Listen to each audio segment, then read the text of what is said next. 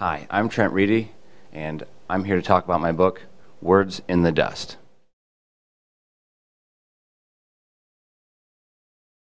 In 2004 and 2005, I was serving with the Iowa Army National Guard in western Afghanistan in support of the Reconstruction Mission. On a mission to assess a village for its reconstruction needs, we encountered a girl who had suffered from birth from a, a severe cleft lip and we knew we had to help. So my fellow soldiers and I pooled our money together to fly her to our main air base where this wonderful Army doctor had volunteered to conduct the needed corrected surgery. When she returned to us, I was absolutely amazed by how she had changed, and I wondered what effect that had on her life. For me, the girl kind of came to symbolize the struggle that uh, all Afghans face in trying to create for themselves a sustainable, meaningful society. And so the last time I saw this girl as she was leaving our base, I promised I would tell her story. And that led to Words in the Dust. One of the challenges in writing this book was that although I had spent a year uh, living in Afghanistan with, with a lot of contact with the people, the Afghans are very private, and so I had to do a lot of research when I returned to America. And so one of the challenges was trying to decide what to leave in and what to leave out. One amazing discovery I made was that uh, Afghanistan has this incredibly rich and beautiful literary history. They've got these wonderful ancient poems. And I knew that that was something that I wanted to include in this novel because I think that's a side of uh, Afghanistan that people don't get to see enough of. Another challenge that I encountered was that some of the scenes in the book are inspired by actual events that transpired during my tour. Um, one of those is uh, the burn scene in the book, which comes from a, a, mission when my soldiers and I were sent to uh, the hospital in Farah to see if we could help this girl who had been burned very badly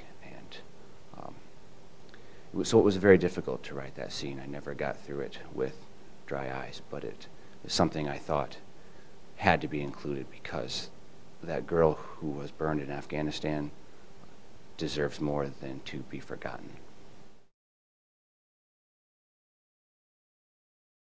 I was very fortunate when I returned to America and that my transition from my wartime life to my civilian life uh, was relatively easy. I serve with a lot of good guys who I have learned are experiencing more difficulties in that transition.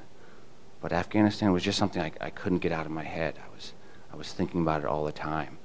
In particular, I was wondering uh, about the girl we had helped and how her life had been affected by what we had been able uh, to do for her.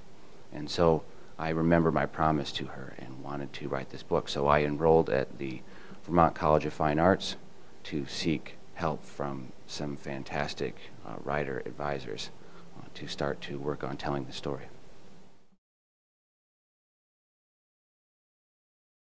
I hope that readers of Words in the Dust will learn uh, from the book what I learned during my time in Afghanistan, and that is that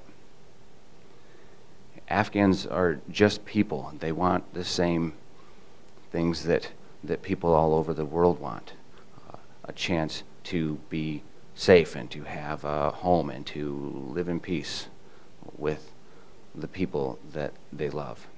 I also hope that people who are interested in helping Afghanistan reach that better future will consider donating to Women for Afghan Women, which is this fantastic organization uh, that is dedicated to improving education and vocational opportunities for women and children all over Afghanistan. They do some amazing work, and uh, I'm, I'm really happy to support them.